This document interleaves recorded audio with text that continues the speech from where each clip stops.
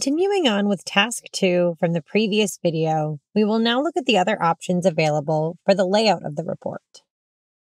By clicking Layout from the top menu, we already know that you can control which dimensions should appear as columns, rows, and filters in the pivot table. Another option we can define here is the aggregation of the value displayed in the table. If we want to get an average value of the ages of malaria cases by species type, in the layout options under aggregation, we can choose age instead of number of events, and then select average as the aggregation operator. Then click Update to view the updated table.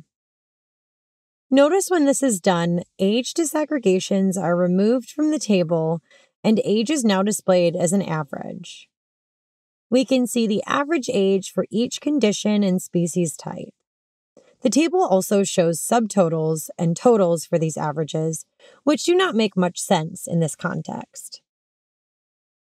If you would like to save the table as a favorite to refer back to it, you can do so by clicking on Favorites and then Save.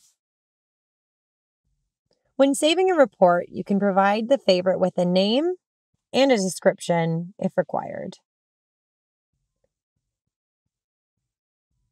You can also download this report by clicking Download and then choosing the format you would like the report to be downloaded as. For example, if I click on the Microsoft Excel download, this is what the downloaded file looks like. We hope you found the demonstration of the Event Reports app useful. Let's highlight what we have learned in this subsection. We described the Event Report app interface. We covered how to create both a list of events and an aggregate table of events using event reports. We applied legends to create categories for data. We saw how the Event Reports app allows us to select data items and use as filters. And we illustrated the difference in aggregation types of event data. We hope you have been following along with the step by step activities listed under the videos. But if you haven't, please refer to them for extra practice to help ensure the understanding of the information presented on event reports. Also, use the discussion forum to ask questions to other learners or facilitators.